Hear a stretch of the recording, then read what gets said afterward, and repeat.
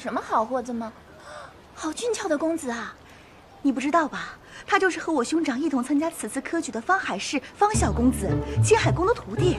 啊，他就是那个文才武略被传遍天启城的方小公子，策论得到皇帝陛下钦点一甲第一的那个。是啊是啊，要不是爹雪被人暗算，这么英俊的小哥就是头盔了啊！好容貌，好气度啊！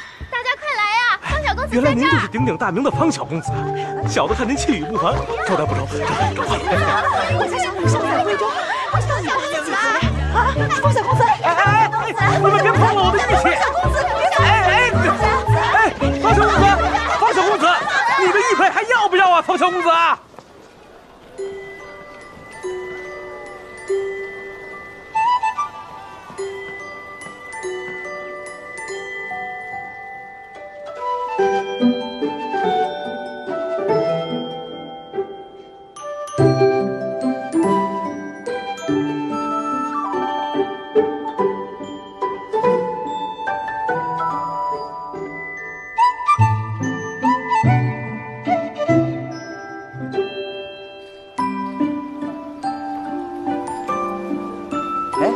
刘豆来了。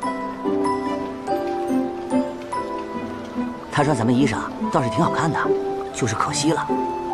关注腾讯电视剧微博和微信公众号，提前解锁更多剧透。